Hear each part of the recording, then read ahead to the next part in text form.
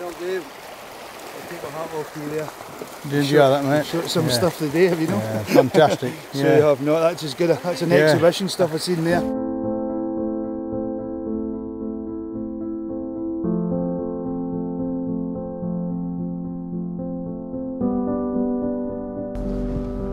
Right, uh, nice September morning for for partridge shooting, and we're at the glorious Drumlanrig Castle, beautiful spot in the uh, the Scottish countryside. We're just over the borders uh, in Dumfriesshire, and um, these partridges here, they're fantastic birds, some of the highest in the land, most probably the, the highest in the land. But um, fantastic day, and as you can see, it's a beautiful drive up to the castle. And there she is, there's the castle. Lovely avenue of trees.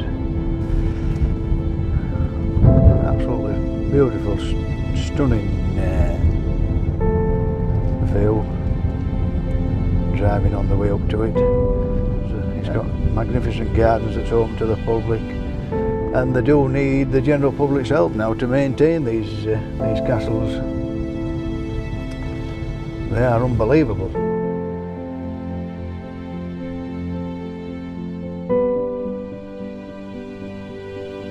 Good morning, everybody. Uh, just like to welcome you to Drumlanrig.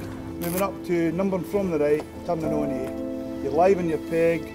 There'll be a plenty of blow to finish the drive. Stay shooting after the bomb. The main thing is enjoy the day. Are you going to give me a good uh, kicking Gonna today, give then, you a David? kick if you, Y- yes. I can manage it, but I don't think I might, I might not be able The oldest, the oldest porter in Ireland. Yeah, Yeah. posing's easy, shooting's difficult.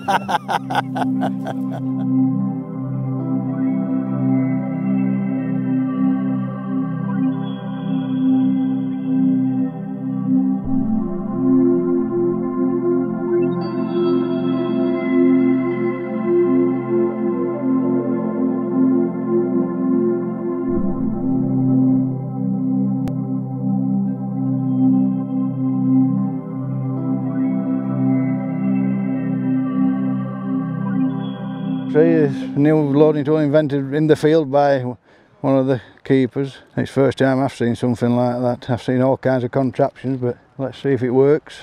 This is the famous Scud Law. If you point the camera up there, you'll see how high it is. It's ideal flying weather, Duncan. It certainly is, yeah, Yeah. a bit of wind. Wind, a bit of wind that we don't need here. It just makes it harder. That's true, yeah, with a height.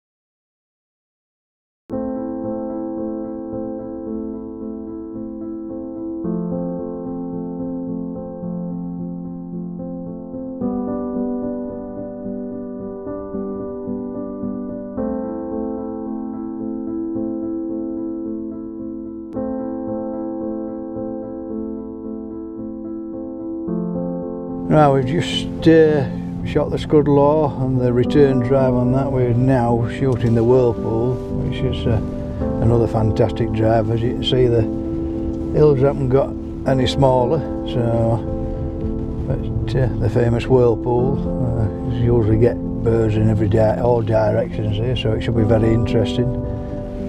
Certainly keep us uh, on our toes.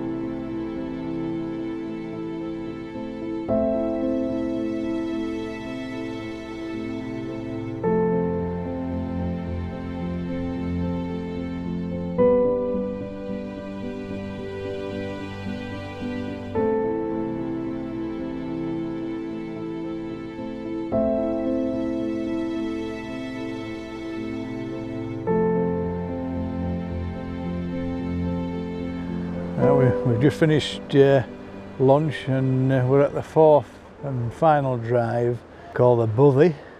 I think it's the first time I've ever shot that. Shot this uh, this drive. There's some really nice birds. Just too far up there at the minute. I imagine these are going to be like grouse on steroids. But look at these with this wind. It's very it's very windy.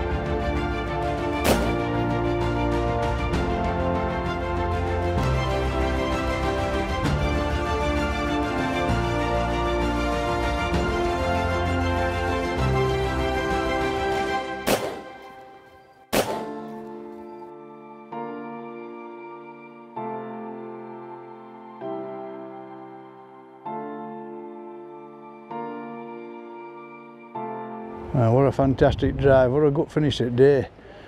Um, took some getting hold of those. Early on we just um, we put the rangefinder on that tree, it's 54 yard away. But a lot of stuff were 20 yards beyond them trees. Going like buggery, we did get one or two, but they took some bloody getting hold of. And uh, this is why people come to Drumland regularly, this is a real test. You know, you can't hit all these birds, it's so diverse there's every angle and speed that you can think on on these little birds off these uh, these tops. Thoroughly enjoyed it, beautiful location and a pleasure to be here.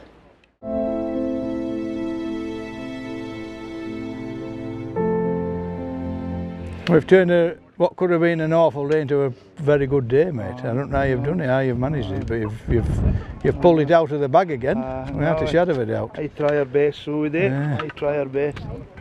As I say, you start with big hills, which makes it easier, but you've still to Yeah. you've still to get them. Well, you've got something to throw them off anyway, but you've still you got to be the ski- flag men in the right bit. You've still got to be skilled enough to do it, mate. Yeah, you have. The team I joined for the two days at Drumlanrig were lovely to shoot with and a funnier bunch of lads you could not have found. Every last one of them, apart from me, was from Ireland. So we can only imagine the crack. These lads have been making the same trip to Drumlanrig for over 10 years, and it was like a pilgrimage for them. Every year, shooting teams come from all over the world to enjoy the stunning scenery and the country sports that the UK has to offer. This boosts the local economies 20 fold throughout the shooting season. Let's ensure it remains this way forever. Thank you.